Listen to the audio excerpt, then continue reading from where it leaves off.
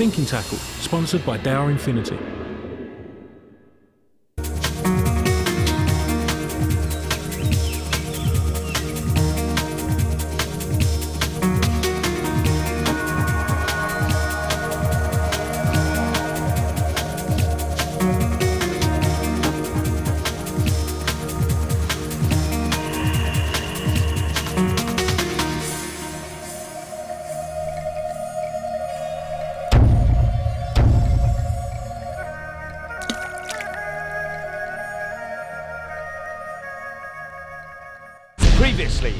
On Thinking Tackle, as the match heightened in drama, the Germans waged war with the groundbait sling, but to no avail. Poor old Germany.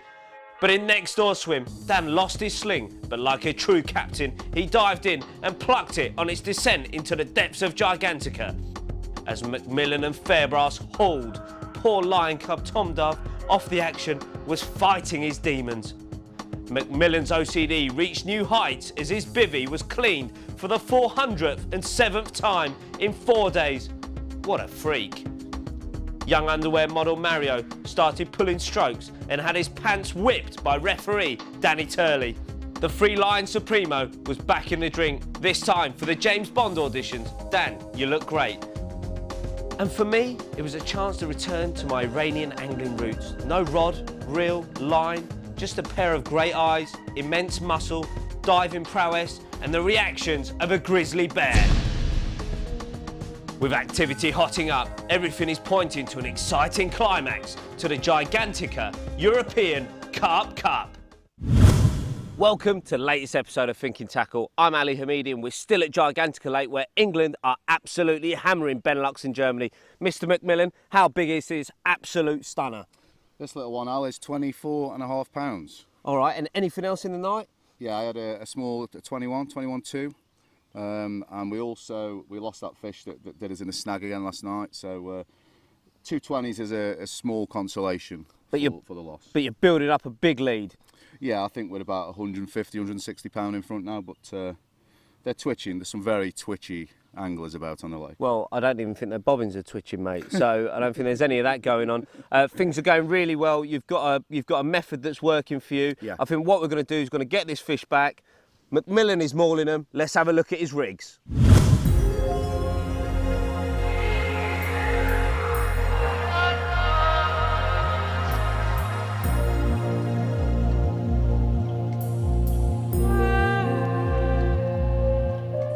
Mr. McMillan quietly winkling a few fish out of an unfancied area. I bet you guys at home are dying to find out some of the trickery that's in his rig box, and that's exactly what we're going to do now. So, Mr. McMillan, something between your legs that you're about to show me. There you go, mate. Right, what we have here, which is what is doing the damage, it's quite a quite a brutal way of fishing for me, really, but it's working. So uh, we've got a we've got a gravel safe zone leader Yep. with a gravel gravel hybrid lead clip. One thing to mention there is is that is only nicked on probably about a mil and a half. So yeah, you've bet, you've bet what you're saying. You've literally got it over one of the teeth Yeah, on the hybrid yeah, lead clip. yeah. The, the reason for that? Uh, the rod that's doing all the damage in the snags, I want that lead off straight away. I'm fishing all locked up, quite a tight line. So as soon as it's picked it up and shaking its head, the lead's off straight away, so the fish will come up. Yeah. Straight above the snags. And it's worked the last couple of fish. I've lost a couple in there, but that's the nature of snag fishing, you know. So So, so you've adjusted things from the start of the session Yeah. to, to that sort of quick release element. Yeah, yeah. And, and and are you doing anything with the actual rod setup to, to, to aid to aid that? yeah, uh, the clutches are completely locked up, which I really I'm not into that sort of fishing at all. I don't do it. I don't like it, but it's a match. So we've got to beat them, you know. So whatever whatever means necessary. But I've also got a big bank stick there, so the rod is the kind of bend of the rod is all that the fish has got to take, and then I'm on it straight away, which is why I'm not fishing now at night because I won't be there quick enough, and it'll just do me straight in the straight in the snags. Okay, cool. Um, right, moving on to lead, I can see that's quite large for the area you're actually fishing. If I'm honest, it's the biggest lead I've got with me. It's three and a half ounce. If I had a five ounce, it'd be on there. I want. The, I'm fishing a tight line, so as soon as the fish picks the rig up, the lead will drive the hook home. But then the weight, when it's shaking its head, it'll be straight off. A lot of resistance there. One, so I can keep the line tight, and two, that it'll, it'll nail the rig home. You know. So what you're saying, big lead, helps hook the fish, and then once they shake their head, the minute that leg comes off, they think, oh, I'm free. Yeah, yeah, Shoot onto the the surface. Yeah, Right, yeah. excellent. Let's move on to the hook link now, mate. What's the connection process here? What we've got here, we've got a little, just a little quick link here. Yep. That's just to finish it off. I know you think that's too long, but I like, but I like doing it like that, so it works It's only because. I'm tight, mate. Well, yeah, you'll get two out of that, won't you? Yeah, three. Especially uh, hybrid soft in brown, just to match the lake bed really. Okay. couple of bobs of putty Yep. to keep everything pinned down. Um, we've got a size 6 wide gape X with a little ring just to act as a blowback. Quite a big gap there between the ring and the 20 mil bottom bait. That's which- about half a centimetre, isn't it? yeah, very, very important that you've got you've got to have a, a, good gap, you know, to, for the rig to, to do its job properly, you know. Uh, and then we've got a little tutti frutti just pop up on the end as a bit of visual. Little sight. So, I mean, it's interesting what you said about the putty there, because they're two, two nice big bits, but you did touch earlier about how it's very flat. You know, you've got the gravel, the safe zone leader, all of that. Is, everything's pinned down tight to the yeah, lake bed. Yeah, everything's pinned down. I've done as much as I, I can to camouflage it because the water, like we say, is so clear. Yep. You really don't want kind of a silt leader with a green clip. You know, you probably still get bites, but you Yeah. want to be doing as much as you can to camouflage everything. It's those extra percents, mate, that even though you're in an unfancied swim, you're you're catching as many as anybody, which is, Yeah, you know, seems to be what- you know, testimony. yeah. Yeah. Okay. I can. I know you've got a couple of other bits set up down here. Um, this is the one with a curved shank. If I hold that up there. like so, that. what's the thinking behind this one? It's, it's not dissimilar to the last one. Same material, hybrid soft brown. There's no putty on there yet, but Yep. that would have putty on when it goes out. That is my, I mean, I do use the KD quite a lot, but that is just my version of it, where the silicon is just there just to trap it, just to keep the hair in place on the cast. Yep. So it's just back. If I. It's, ju- it's just balancing. The hook is Yeah. lying flat, but that is that is a dumbbell bottom bait with a bit of plastic that just pulls it up off the off the off the deck. Again. bit of visual, Yep. and it's a rig that just nails them. You know, they really find them curved hooks difficult to spit out. Yeah, especially when you've got to use them barbless, they're curving in, curving out. Yeah. Well, I know you've just got a couple of other little hook bait variations here. Um, want to talk through that? That basically, Al, is the same rig as, as I showed you with a tutti frutti pop up on it. Yep. That is just a high vis milky toffee. Again, just something a bit different, you know. Yeah, so changing colour, keep, keeping keeping things varied, keeping them guessing, and Yeah. hopefully nicking your bites. The, on, the only the only rig I've caught on uh, twice, not on the same rig, but on the same presentation as the as the orange, the tutti frutti, and the 20 mil cell. I just keep changing them around. Just you, I just want that bit of visual. Uh, but I have had a bite on this as well, which is really really gruesome and really blatant. But a double 20 mil cell. That's like a welly rig, isn't it, mate? Well, it is, mate. Yeah, I would, I would, I would cast that on Wally, but it's a big bit of metal, a couple of big up baits. They will really find that difficult to spit out. Well, there we have it. Mr. McMillan keeping it simple, ringing the changes, and it's obviously working. Well, we've seen his rigs and we can see exactly why they're so good. What an absolutely stunning, Stunning stunning, carp. It spawned out, but how big is it? 32 and a half, mate. This one looks like it could be in an Oxford lake, doesn't it? How long have you actually been fishing since you got the rods back out after dinner? Uh, 10 minutes this went, but I'd, they'd been in, they'd been reeled in for about four hours, and I let them have about four kilo bait before I went to dinner. Um, so see a couple when I come back round with the water. Uh, so they're obviously there, and they like to be in those snags, and yeah, 10 minutes. Do you think um, putting the bait out before dinner was uh, critical in this capture? Um, well, I've used well, I've used 25 kilo in three days, so they're obviously liking what I'm putting out in front of them. But yeah, the, a free meal never does them any harm, does it? Al, really? What, what, are you using a mixture of boilies or just one type of boilie? Just one, 20 mil cell. That's all I'm putting out. No spod, no ground bait balls, nothing. Just boilies. Over a big area as well. Well, they seem to be getting bigger, Ting Tong, and that is, you know, quite possibly one of the most stunning carp you're likely to see. And, uh, you know, for all its intents and purposes, probably a 40 pounder Yeah, yeah. before spawning. Well spawned out, yeah. Are you confident of an even bigger one? Of course. Well, Ting Tong, always confident, flying the English flag.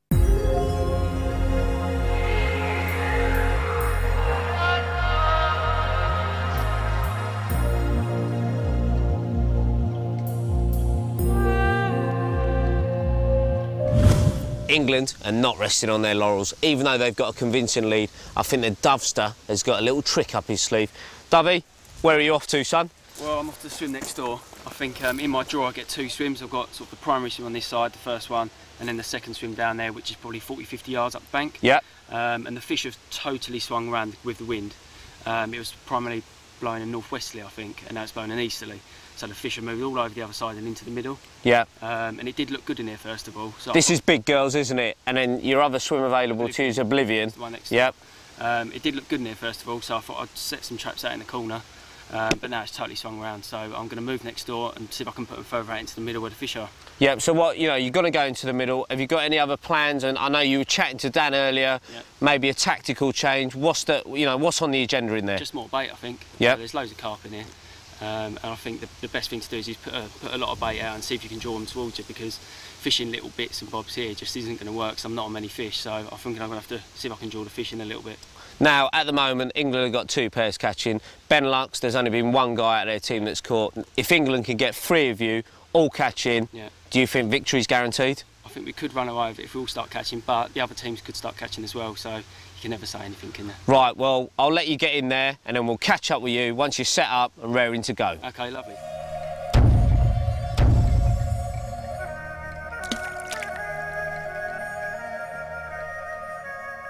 Thinking Tackle, sponsored by Dower Infinity. Well, Dovey's already moved. He's starting to put some bait out, so we're going to show you exactly what he's doing because it's a method that Dan's already adopted. He's done a great job. He's got bites. We're going into night three. Tom, what is it that you're doing? Basically, firing these massive balls out as far as I can.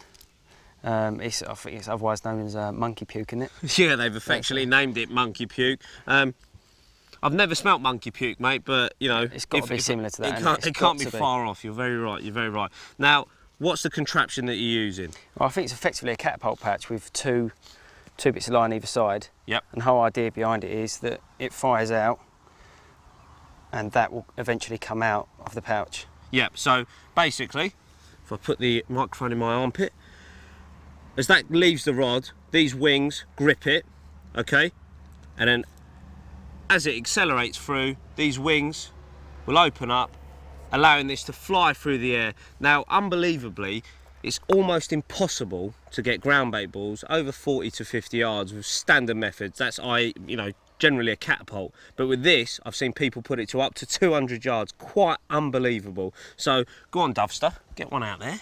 I don't think I'm going to be able to put it 200 yards, but we'll. Uh, Well, you're it a go. fishing, I, I, I'd guess 90, maybe Uh, 100. yeah, maybe 100 yards, I think. Yep. I think one thing to point out is is that with a longer drop, I think they go out further, get more of a sort of a pendulum swing with it. Yeah, the the casting arc, it's like anything, the bigger the load, Yeah. the bigger the drop. So almost like spodding, you've got a drop about, well, down to the spigot. spigot, yeah. we- very important, allows you to get a nice arc, a nice action, let that go up in the air Yeah. and out there as far as you can get it. Let's give it a go. Go on then. Here we go. Well, that's absolutely bang on, mate. You've Yeah. almost taken the paint off the marker float. So you're using this bait now. We've seen Dan have a few results off it. What what sort of feeding reaction are you trying to generate with it? Well, hopefully similar to boilies. Um, I'm actually going to put these out, spread them over a big area. Although one did go close to the marker, I'm not actually trying to go for the marker. Yeah. I'm going to spread them out over a big area, put some boilies out as well, and hopefully get them moving again um, to make them easy to catch, really. Okay, and and why this and not spodding? Um, there's so many little fish in here, bream, roach, rudd, I think as well we've seen show, haven't we? Um, that when you're spodding it doesn't hit the bottom. I mean, previous trips I've been out in the boat and put munger like this over the side of the boat and it just, just doesn't hit the bottom. They're eating it before it hits. Yeah, yeah. So, So, you're um, only getting a few of the larger particles get to the bottom, Yeah. which really isn't enough to keep fishing the swim for long enough. No, but it? when, when they're in a ball like this, they're not breaking when it hits the surface. They're going to go down and break up on the bottom. Yep. So hopefully the carp are going to be the first ones to eat them. Yeah, and another thing you'll notice is he's got the balls in there. There's I don't know maybe 15 or so that you're you're putting out. Yep. But where 15 spods or so might take you 15 minutes, Yeah. That takes you a couple of minutes. Well, I reckon you can put out a whole bucket in 15 minutes with this. It's so quick and effective. It really is. Right. Well, we're going to let you keep firing them out there. Okay. Hopefully, going into night three, Yep. your fortunes may turn, and a yeah. big monster might just come in on these monkey pukes and uh, leave you a happy boy. Lovely. Right, okay, Cheers, I'll mate. get these out.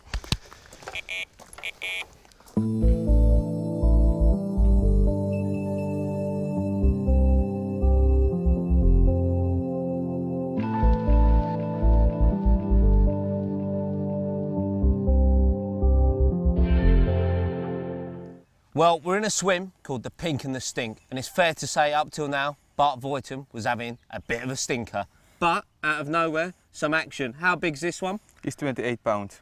Now, was it the only action of the night, or was there some other activity? No, yesterday evening I lost one. It was also a nice fish.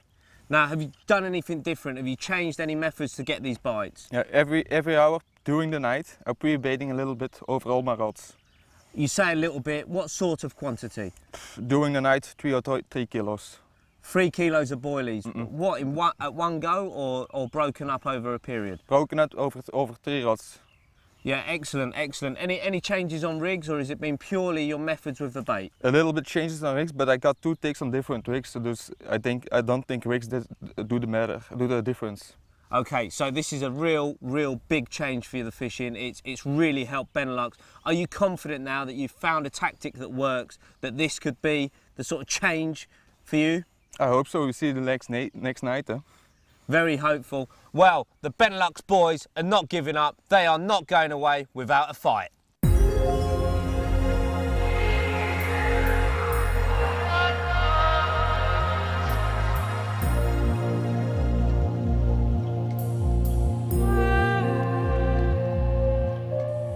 Just when you thought Benelux were mounting a comeback, England rage on forward with Daniel Fairbrass with another, another lovely, lovely carp. How Look, big's this one, mate? Uh, 19 and a half pounds, but mate, uh, who cares how big they are when they look like that, eh?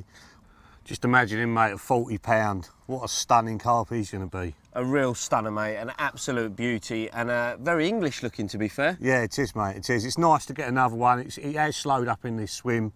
Um, I had a little one yesterday, as you know, and uh, sort of I was racking my brains. There was fish on me yesterday afternoon. Didn't catch anything, so I've changed things around. I've just put just a 20 mil cell on, just drilled it out and put a little bit of cork in it, a little trick that you and Tom use, you know, um, and put it on a four-inch hook link as well, standard rig with a rig ring on the on the shank of the hook as I normally fish.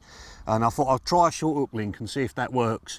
And out the three rods, that's the only one that's got it on, and that's produced the bite. So I'm going to be swapping a few more rods over to that later on. Yeah, it's interesting stuff because you've not really rested on your laurels at all during the match. You've kept tinkering, you've kept making changes. Now, one guy that loves to make changes but hasn't really held on to any of these carp yet is a German man called Etienne Gable. And he's got some tricks up his sleeve that I bet you'll love to see. Etienne and myself are old mates, and it's been nice to fish in the competition in the swims next door to each other. We've been able to catch up and talk rigs and all that sort of stuff. And he's using stuff on his home waters, which I think is more advanced than anything that I've seen used in the UK. Um, so all credit to you, mate, for thinking about this. But tell us a little bit about the waters that you're fishing and why you've come up with this sort of stuff. My waters where I live are much clearer than this one. Really? Much clearer than this one. So what, what sort of depth do you think you can see the bottom in there? Seven meters. So over 20 foot. Yeah, I the- can see English. everything. I can Really? see everything. Right, okay. With a boat and with an aquascope. So you're looking Yeah. through and, Yeah, and, and looking at the yeah. spots and everything on yeah. the bottom. And uh, yeah, I'm trying to match uh, everything to the to the bottom. Right. Because uh, yeah, they're pressured fish. Right. For round about 20, 25 years, they are pressured fish. Right, okay. Really shy fish. Right. And uh, in waters, they are clear. Yeah. It's very difficult. They know what's going on. They know everything. What's So going on. in, in a typical lake that you fish, um, how many? How big's the lake? How many fish swim in it? How big are the fish? It, uh, it, we have different lakes. Uh, Right. all, all lakes uh, where I live are very clear. Right. I told you already. What about the one with the big? Where you had the big brace of commons recently? Then um, round about 10 hectare.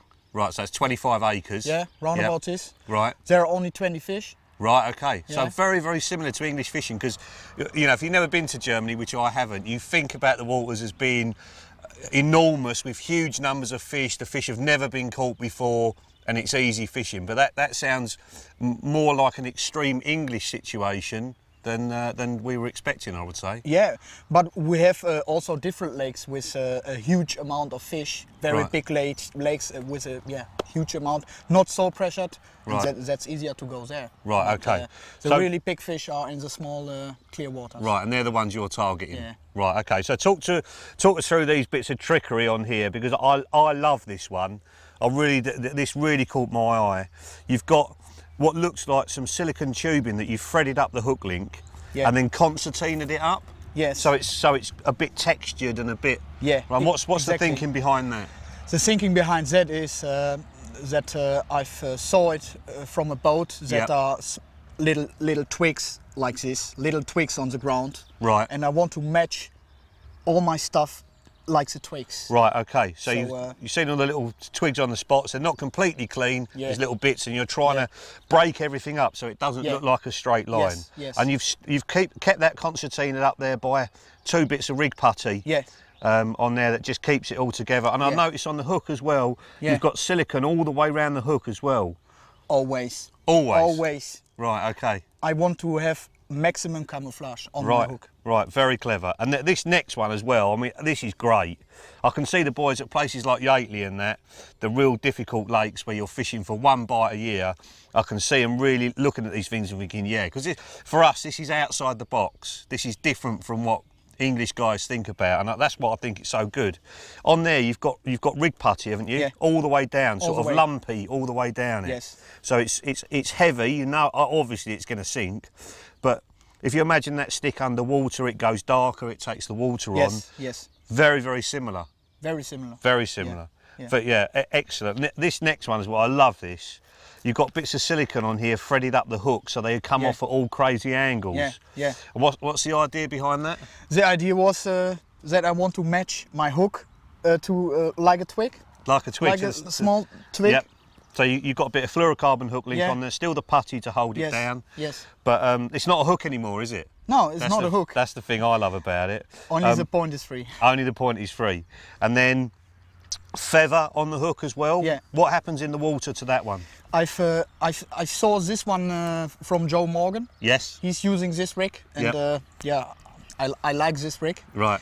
But uh, um, there, there comes air, a little bit air in the in the uh, Yeah. and uh, it uh, yeah, it's a big bubble on the ground. Right. Okay. A a big bubble. It, it Right. takes it takes a few uh, minutes that that, the- that the air can get, go out. Right. Okay. For the water pressure is working and Yep. then the air comes out. And that's you've got a big bit of putty on there, but that uh, that's still a bottom bait, is it? There. Is a bottom bait. yeah. Right. Okay. Very very clever. And then moving down onto this one, not so much camouflage. You've still got the bit of silicone on the hook, but two hook baits. Um, now we've seen this written about in the English magazines. Uh, Hutchinson put it in a book years ago, but I've never actually seen anyone cast it out. So what's the, the thinking behind that? The thinking behind that is when I when I use a, a big mix of uh, of different baits. Yep. When, when I go for spodding. Yes. You know you know better than me. One day this bait is better. Yep. The next day the other bait is better. Okay. When I put two different baits, I have different options. Right, okay. Very clever, very clever. And then this last one, um, again, the, the, you've got the putty on it and everything else, but the thing I liked about this one is how the hook turned. Just that you've got a choddy hook on there, so an outturned Yeah. eye hook. But look, Yeah. look at, I mean, it's not, even the weight of the bait doesn't seem to be making a difference. It's just, so what made you come up with that? This one turns really really quickly. Yep. And uh, I've got here a small a small loop. Yep. For for hinge for the movement. Okay. And uh, the the thinking behind that is, it turns really really quickly. Yeah, it does. And it wh- does. It does, yeah. Yeah, it does. Absolutely brilliant. And you know, I wouldn't expect that for a hook with an outturned eye like a choddy, but Yeah. um, it's it's amazing how quickly it does turn. yeah. Amazing, absolutely Yeah. amazing. I, I, to be honest, mate, I'm amazed that you haven't caught anything on this session. Nothing. And uh, I think there was there was a little bit. Um, you were probably a bit misled by the last time we fished here. I was spodding. I was catching. Yeah. I've come this time. I'm using boilies. Last time you were using boilies, it didn't work, and spodding worked. Now it's the other way round. Um, things change, don't they? You know, there's more. Yeah. There's more bream prevalent in the lake now than there's ever been before. Yeah. Um, even though Danny's taking them out, they they, still are a problem, and that's why Yeah. I've used boilies more than anything else. But Yeah. we've still got 24 hours to go, We have. and it only takes a second to get a run. Yeah. And there are half a dozen 60s swimming around out there right now. So thank you very much for that insight. I hope people put this into their own fishing in the UK because I'm spellbound by all of this stuff. This is camouflage to the nth degree, and uh, I'm certainly going to try it when I go back to England. Hopefully you will as well.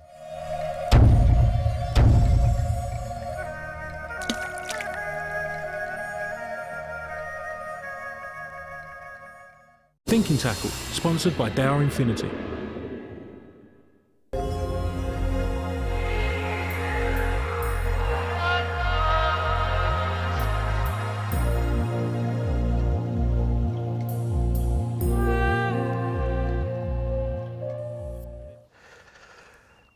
Well, good morning. Um, it's the morning of day five, and uh, I've just been at the end swim, just having a coffee and chatting about why it's not happened for me for 24 hours, and uh, this little common's proven me completely wrong, and he's just about ready for the net. So you just have to excuse me while I uh, put more points on the board. Come on, little baby. Gotcha! Excellent. More for England. Well, we've just seen Mr. Fairbrass bag another one. England are absolutely flying. I can't see anyone catching them. It's one of the babies of Gigantica, but it bodes really well for the future. He's a little baby. oh, let him sleep. But it, it does bode well for the lake. You know, you don't come to France to catch this size of fish. Um, there is a stock pond being built over there that I think Danny's going to put these fish in to grow them on in the future. But you're right, it, it basically means the fish are happy in here, they're spawning in here. Um, you know, and we're going to get a constant flow of fish coming through in the future. So, uh, yeah, and most importantly, more points on the board for Team England. Yeah, definitely. Well, England well in the lead. Can anyone catch them?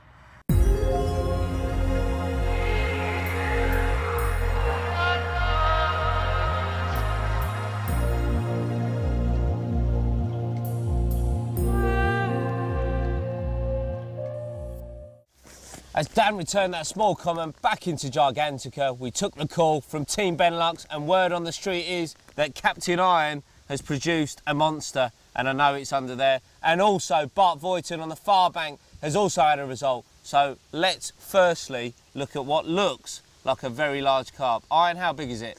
It's 41.2 English pounds. I caught it at one o'clock in the in the night. I had a very slow take. I thought it was a bream to be honest. Very strong under the under the tip, but a nice fish. Yeah, beautiful leather. Well, let's have a look at this absolute beast. Oh, look at that. A, a quite stunning, stunning carp, and it's what, what we come to Gigantica for. Have a look at that. Just give you a hand there, mate. Straighten the fish up for you. Ready? Well, Iron, you're no stranger to big fish, so this probably made you feel very, very happy. Yeah, of course. Always nice to catch big, big nice fish. Now, how do you think this affects the match? Do you, do you think this is going to um, get you back in the mix, or do you think it's just a flash in the pan? Hopefully we get in. I think I will catch another fish in the night, and hopefully Bart will stay on catching. He lost a fish as well in the evening already, and Mario, uh, hopefully he will catch a fish. Then we have a good chance to win. Well, it's one of the Gigantica monsters. It's what we all come to fish for. Hopefully, hopefully, this is going to add a little bit of spice to the match.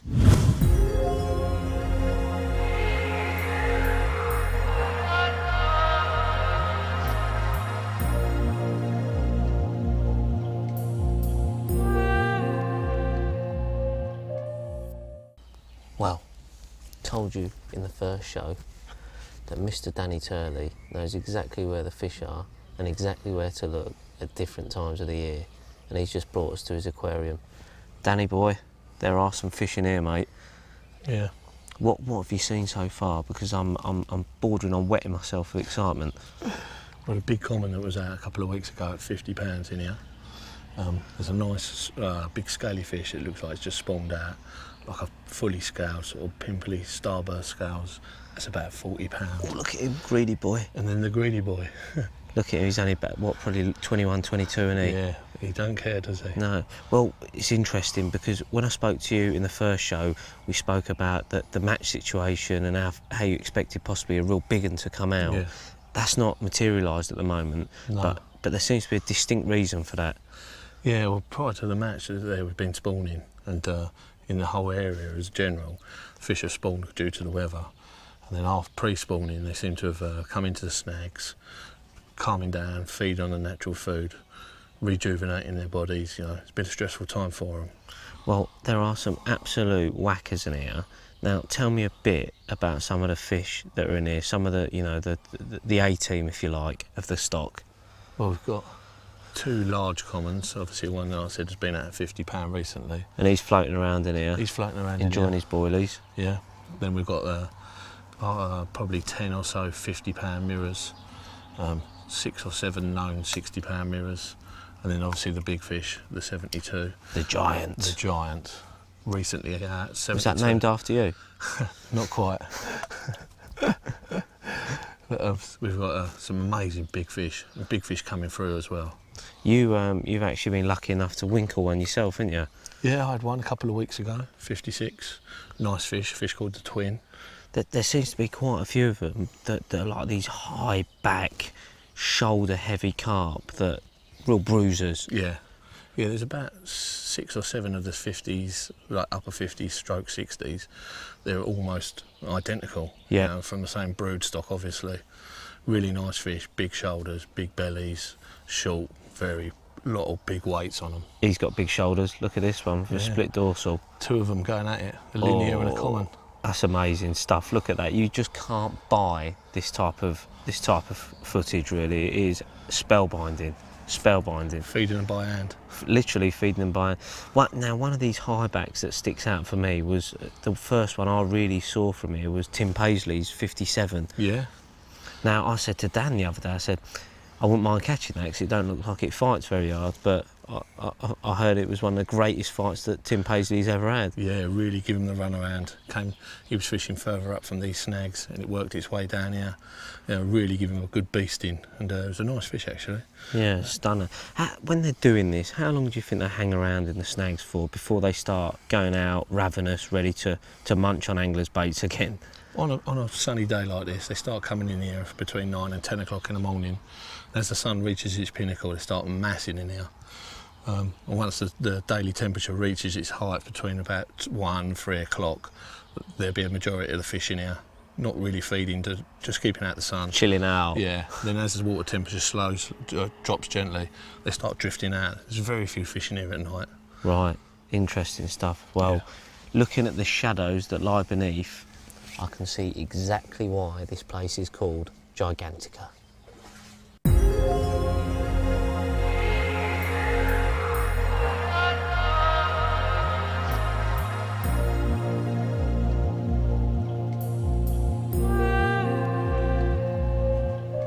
I'm with my good mate Tom Dove, and we're going to talk about a method that is relatively underused but ideal for deep water, especially in hot weather. So, Dovester, Yep. let's have a look at it.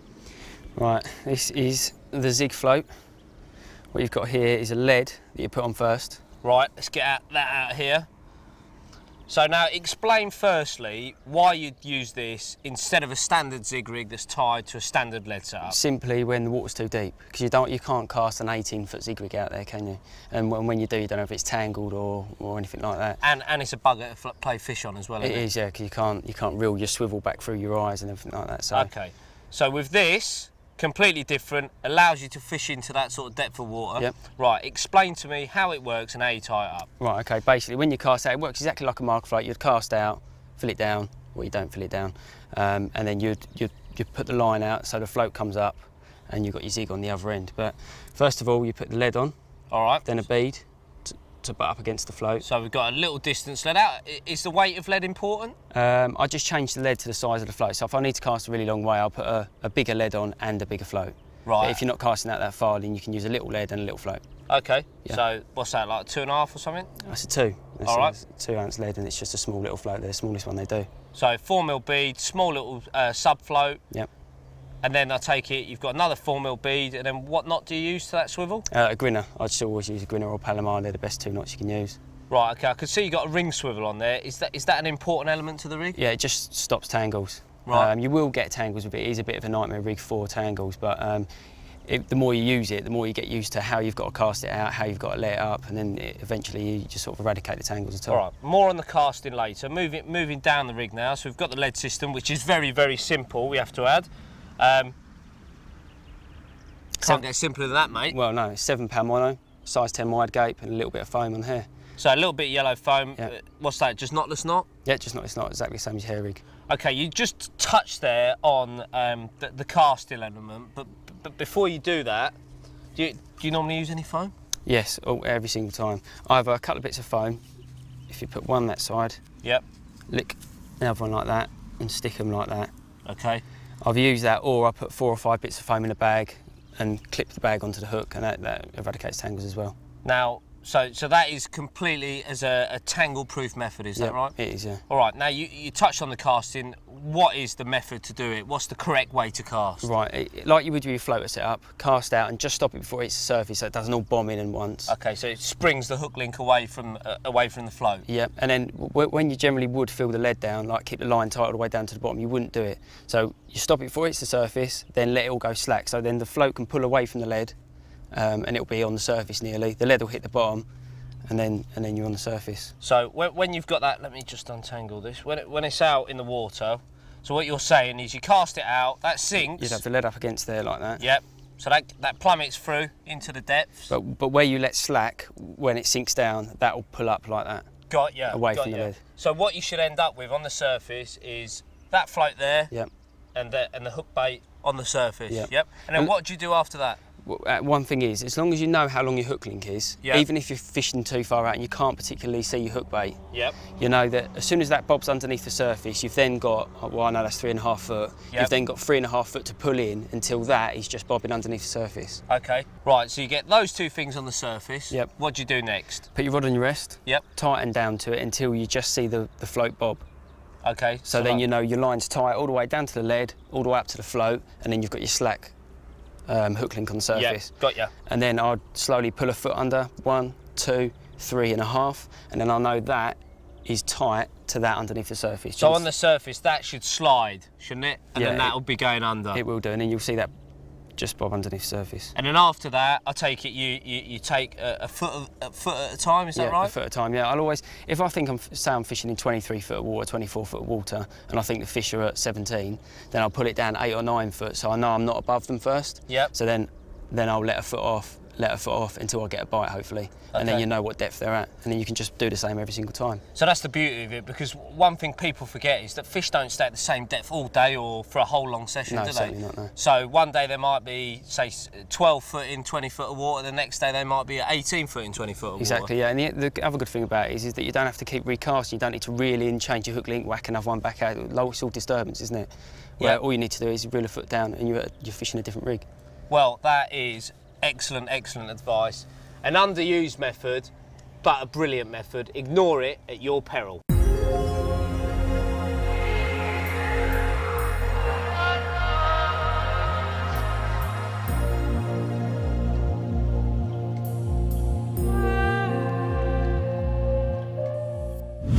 Well, a minor miscalculation on my behalf. England are now on the brink of 300 pound ting tong. Exactly how big is this one? This is 20, 27.4, was it? I think that's about right, mate. We'll settle on that.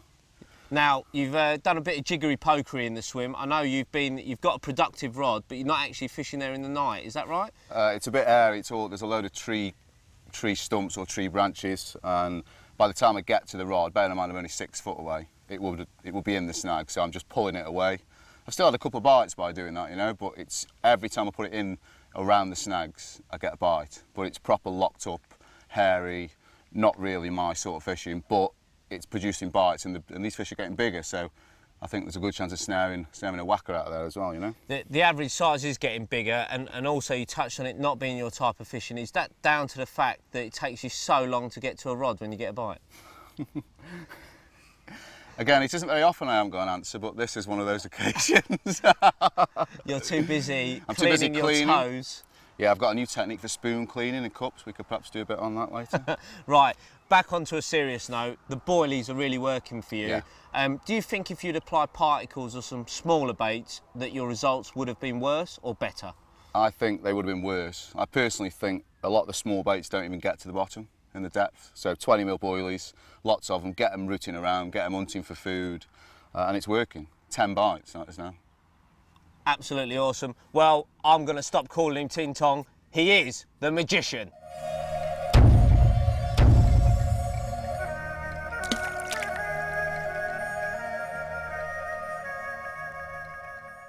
Thinking Tackle, sponsored by Daiwa Infinity. Well, it's very early on the final morning. A man that's been up all night is Bart Voighton of Benelux. Bart, what a beautiful, beautiful carp. How big's this one? This one's 28 pound. Any more fish in the night? Yeah, I also catch a 20 pounder.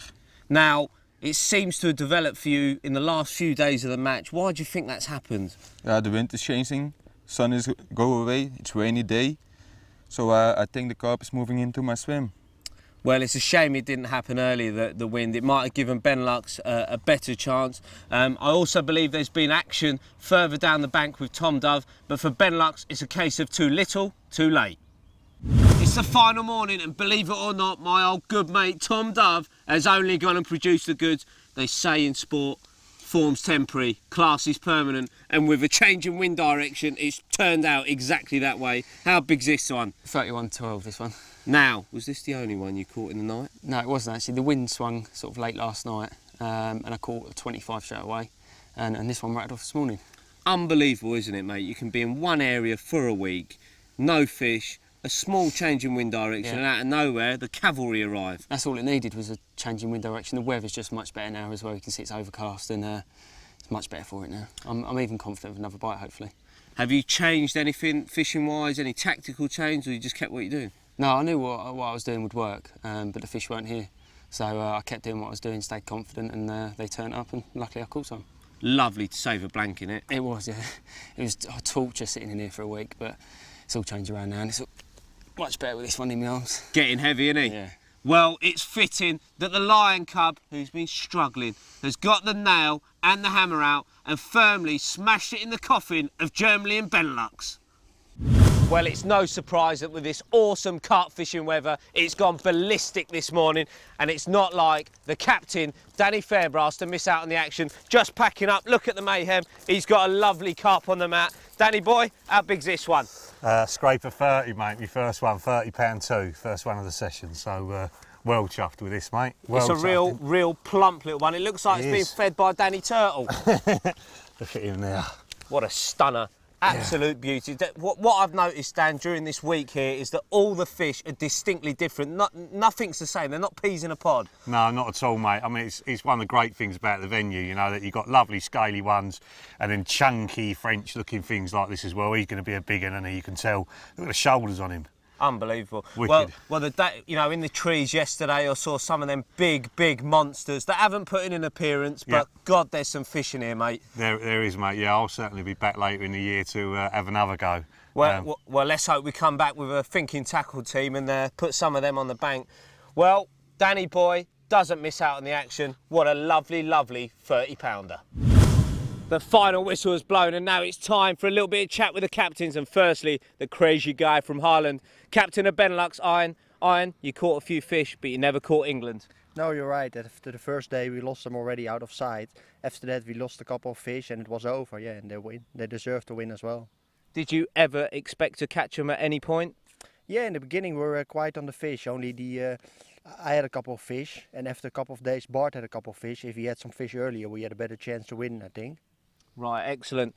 Dan, we're going to go to the winners before we uh, talk to the Germans. Now, how do you feel? Did you expect to win? Well, I'd just like to say uh, well done to the boys. The boys played a lovely game. Uh, in particular, the substitute Tong, he's up there. He's a lovely boy. He fished well. He caught a load. And uh, Dove as well. At the end, uh, I have to say, true champion, a true champion. Caught a couple on last night. Put us right in the lead. Fabulous. Well, I never knew Terry Venables was inside you, but uh, he's in there somewhere, isn't he? Hiding him. Now, Germany.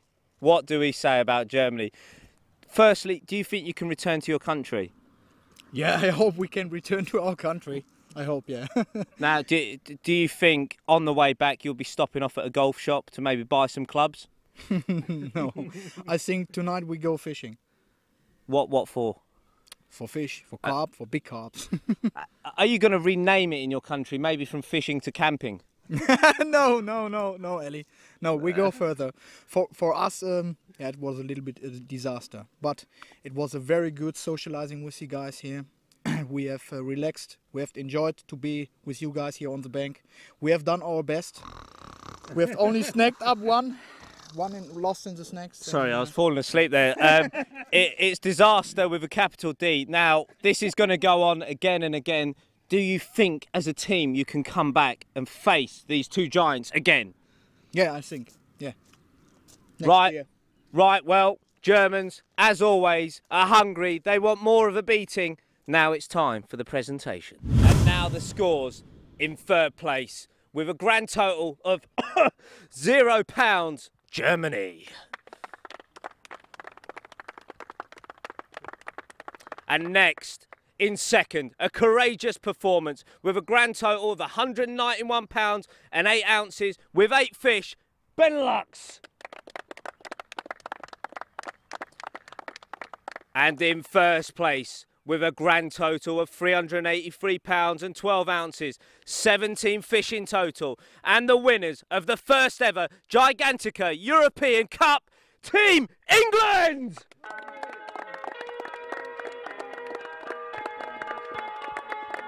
Mr. Turtle, move in with the trophy.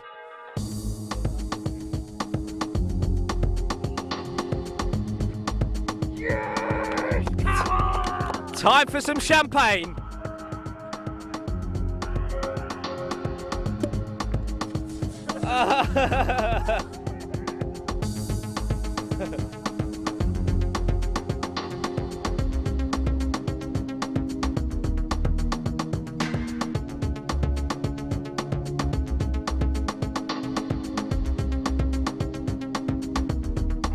And the big story from Gigantica is that the Free Lions have torn Germany and Benelux to pieces.